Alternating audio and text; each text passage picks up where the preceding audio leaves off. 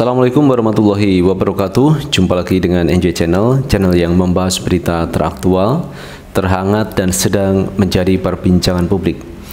Sahabat NJ Channel Hari ini tanggal 9 Desember 2021 di mana setiap tanggal 9 Desember itu diperingati sebagai hari anti korupsi sedunia. Dan juga teman-teman ini diperingati di Indonesia KPK ini memperingati dan Pak Presiden Jokowi datang ke KPK untuk memperingati Hari Anti Korupsi Sedunia.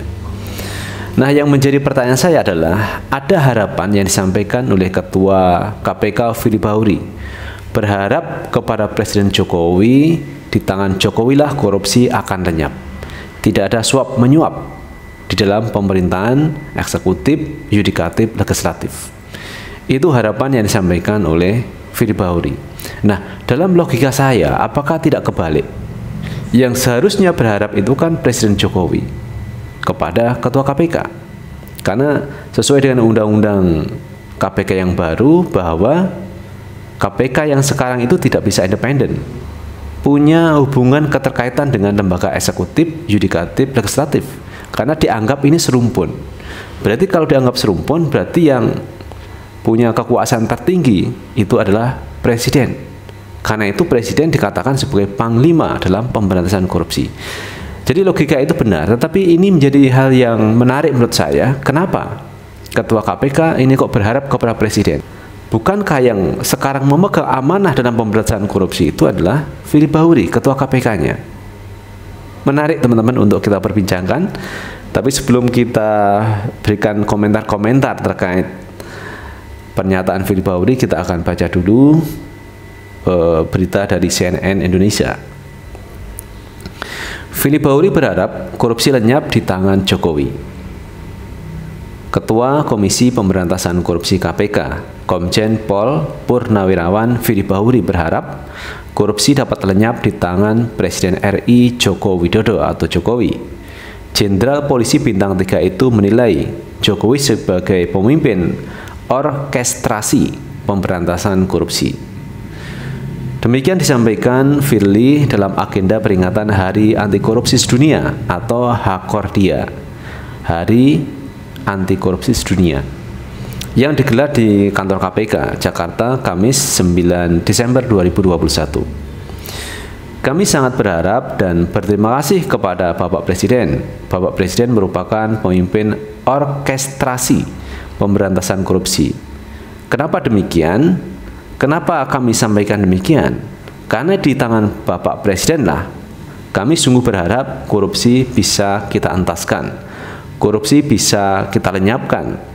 Tindakan suap menyuap bisa kita pinggirkan dan tidak ada lagi budaya korupsi, ujar Firly Kamis 9 Desember 2021. Melalui orkestrasi yang dipimpin oleh Presiden, kami sungguh-sungguh berharap kekuasaan-kekuasaan legislatif, yudikatif, eksekutif menjauhi dari pelaku-pelaku korupsi sambungnya. Ini harapan dari Philip Bauri. Biasanya teman-teman, orang yang berharap itu adalah orang yang tidak dalam kapasitas mengelola atau mengerjakan suatu pekerjaan. Misalkan orang di luar KPK ini bisa berharap kepada pimpinan KPK, kepada presiden, orang-orang yang punya keterkaitan dalam pemberantasan korupsi ini bisa disampaikan. Tetapi ini orang dalam, orang yang mengerjakan sama-sama mengerjakan pemberantasan korupsi berharap kepada sebenarnya Presiden Jokowi yang setiap hari tidak menekuni, tidak mengerjakan pekerjaan pemberantasan korupsi. Ini menurut saya sesuatu yang aneh juga, teman-teman. Kalau orang di luar KPK ini berharap boleh, karena orang di luar KPK tidak mengerjakan pekerjaan-pekerjaan dalam pemberantasan korupsi. Tetapi orang dalam seperti Firly Bahuri malah berharap kepada Pak Jokowi yang setiap hari tidak mengerjakan dalam pemberantasan korupsi. Ini menurut saya adalah logika logika yang kontroversi dari Pak Firly Bahuri. Fili turut mengenalkan konsep Trisula pemberantasan korupsi yang meliputi pendidikan anti korupsi, pencegahan, dan penindakan. Dengan itu kami melakukan perbaikan sistem di seluruh lini, ucap Firly. Sebelumnya, Indonesia Corruption Watch ICW menilai Jokowi gagal menjadi panglima dalam agenda pemberantasan korupsi. ICW menyebut kebijakan yang dikeluarkan Jokowi semakin tak mendukung pemberantasan korupsi. Ini ICW teman-teman, orang di luar sistem pemberantasan korupsi mengatakan Jokowi gagal dalam memimpin pemberantasan korupsi. Sementara Firly Bahuri berharap kepada Jokowi, di tangan Jokowi lah korupsi akan lenyap. Karena Jokowi sebagai pemimpin orkestrasi pemberantasan korupsi. Firly Bahuri berharap kepada Jokowi, sementara ICW mengatakan Jokowi gagal dalam memimpin pemberantasan korupsi. Ini menjadi sesuatu yang unik menurut saya, pernyataan-pernyataan yang disampaikan oleh Firly Bahuri.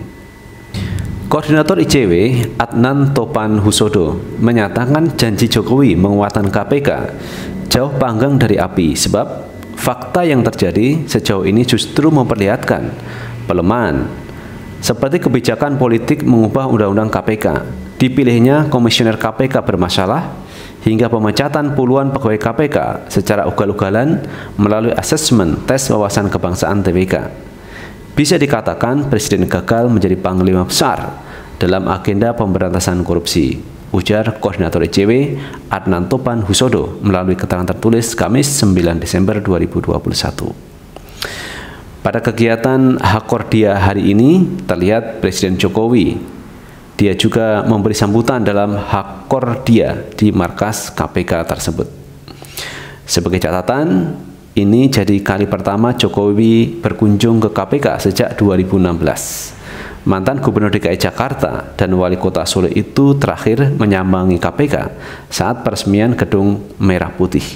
Jokowi pernah beberapa kali menghadiri Hakordia yang digelar KPK, namun perhelatan dilakukan di luar kantor KPK. Itu teman-teman berita mengenai Firly Bahuri yang berharap korupsi akan lenyap di tangan Pak Jokowi.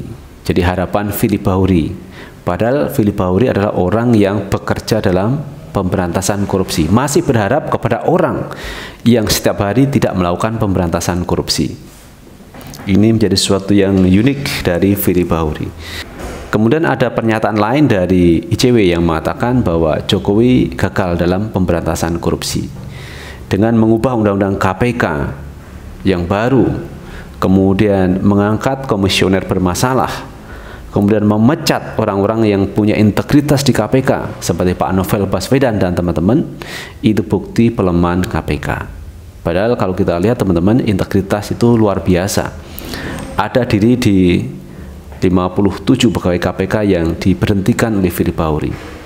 Dan ternyata hari ini ada 44 pegawai KPK itu yang diangkat menjadi ASN padahal di KPK ini tidak lulus tes TWK, tes wawasan kebangsaan. Kalau orang yang tidak lulus tes wawasan kebangsaan, kenapa kok diangkat menjadi ASN di Polri? Ini menjadi kontradiksi, teman-teman. Sehingga banyak orang yang mempertanyakan tes wawasan kebangsaan di KPK kemarin. Banyak orang yang mengatakan bermasalah tes TWK tersebut. Nyatanya hari ini 44 pegawai KPK yang dipecat Fili Bauri menjadi ASN di lingkungan Polri. Ini bukti nyata bahwa e, tes TWK kemarin bermasalah. Dengan argumentasi lain bahwa ada temuan dari Ombudsman RI bahwa TWK kemarin bermasalah karena ada maladministrasi.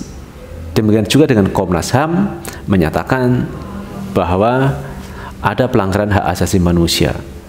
Belum lagi dari institusi lain yang menyatakan bahwa alih status pegawai KPK ini tidak boleh merugikan pegawai KPK. Bahkan Jokowi pernah mengatakan tidak lulus TWK bukan serta-merta ini diberhentikan dari KPK. Jadi banyak hal teman-teman yang menguatkan bahwa tes TWK kemarin bermasalah. Itu teman-teman yang bisa kita bahas kali ini dan bagaimana menurut pendapat teman-teman sekalian tulis di kolom komentar karena komentar teman-teman akan sangat bermanfaat untuk yang lain. Sukses selalu. Assalamualaikum warahmatullahi wabarakatuh.